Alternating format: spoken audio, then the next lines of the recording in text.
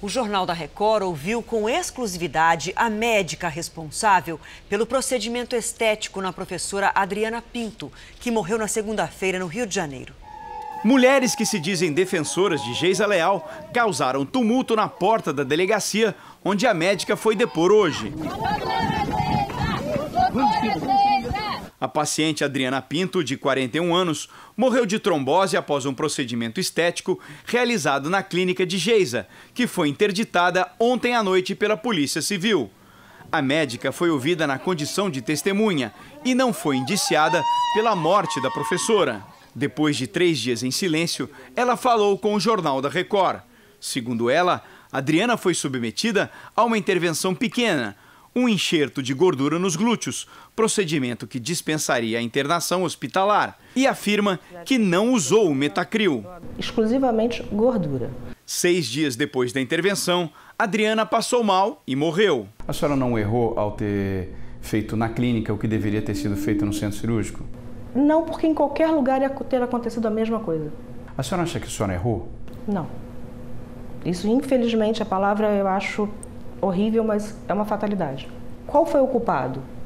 Uma má circulação que não tinha como ser detectada antes.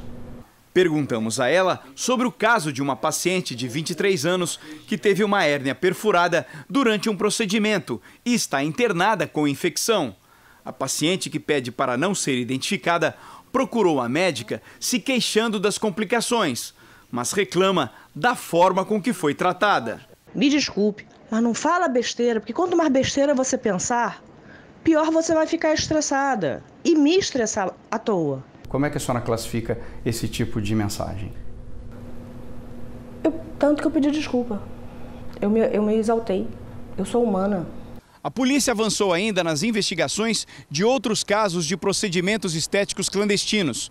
A suspeita agora é de que a massoterapeuta, que atendeu a modelo Maiara Santos, que morreu na sexta-feira passada, seja sócia da esteticista conhecida nas redes sociais como Pati Bumbum.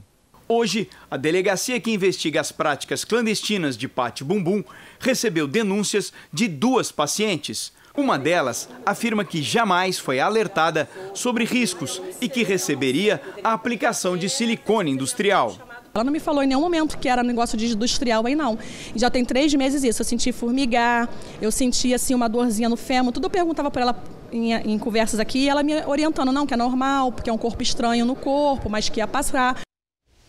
Nós não conseguimos contato com a defesa de Patrícia dos Santos, conhecida como Pati Bumbum.